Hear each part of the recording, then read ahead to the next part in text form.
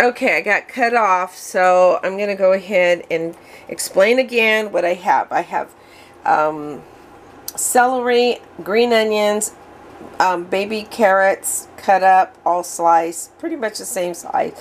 Um, size, um, par parsley, uh, flat parsley, parsley leaf. I'm a little tired here. And I have green onions. Let me see. I have regular. I use the yellow onions because I like the yellow onions. I've always used the yellow onions.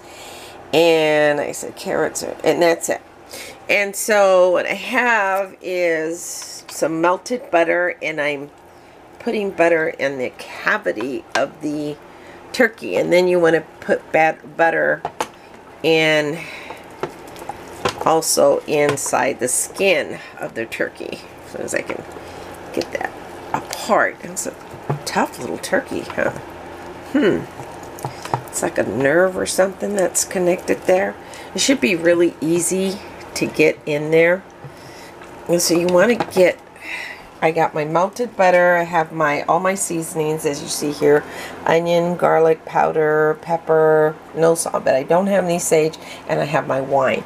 So after I go ahead and put my butter and you want to just massage it in. I mean really massage the butter. Look, I'm only one-handed here. I'm going to need two hands.